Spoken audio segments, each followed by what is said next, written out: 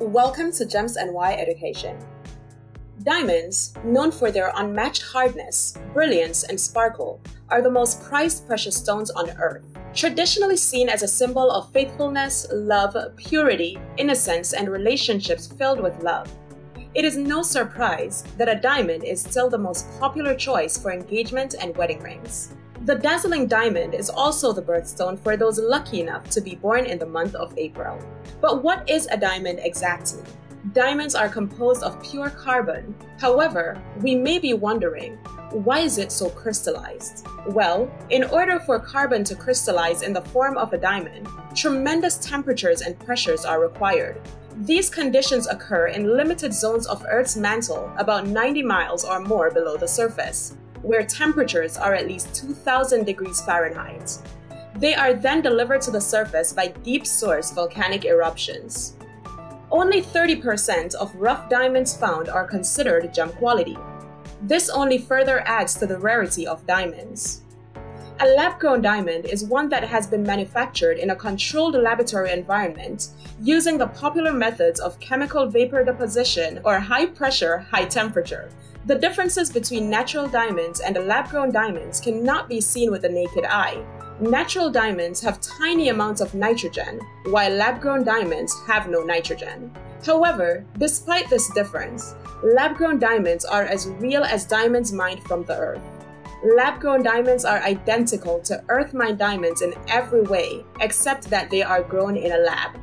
Lab grown diamonds, however, offer an exceptional value when compared with the same quality of rare earth mined diamonds. Now that we have a better understanding of natural diamonds and their lab made counterparts, let's get a bit deeper into the grading system and what to look for when purchasing your Forever Stone. As mentioned earlier, lab diamonds are significantly more cost effective than their natural counterparts. A lab diamond of the same quality as a natural diamond will retail for 30 to 60% cheaper. However, when it comes to their chemical and optical properties, the grading scale is the same.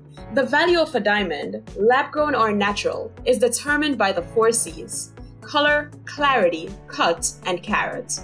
In terms of color, diamonds range from D, being completely colorless, to Z, which may appear yellowish or brownish. We at Gems NY only carry diamonds from D to K color. DEF diamonds are considered to be colorless, while G, H, I, and J are considered near colorless. Diamonds K or below will have an obvious secondary undertone of color, such as yellow, diamonds in the colorless range will command a higher price point per carat.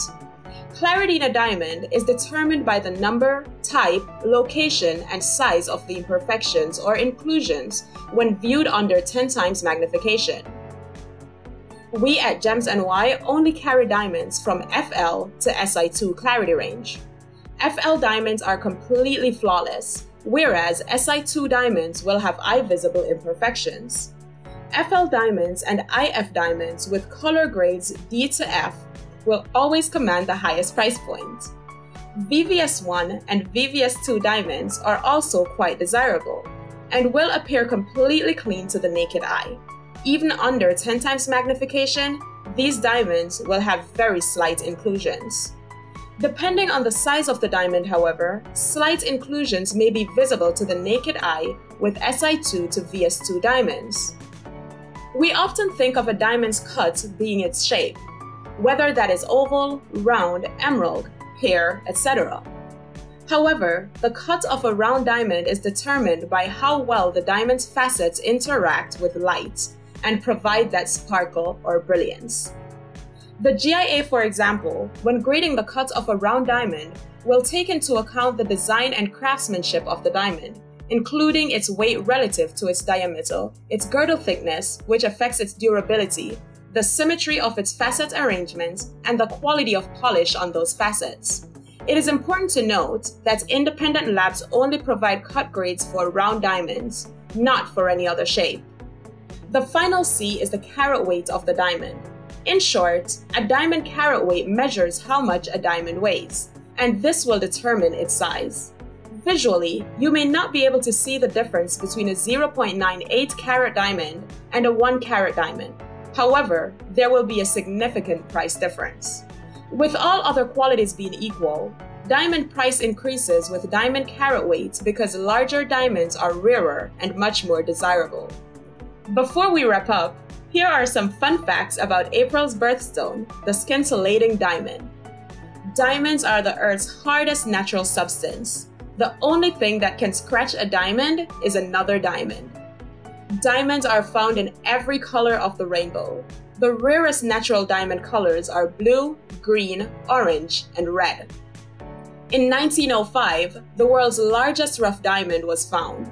It was named the Cullinan Diamond and weighed 3,106 carats. It was later cut into many diamonds, nine large ones and a hundred smaller ones.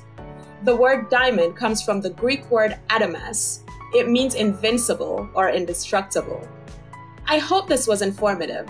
And remember, we are always happy to set up consultations or appointments for our customers at Gems NY where we can assist with finding your perfect indestructible diamond.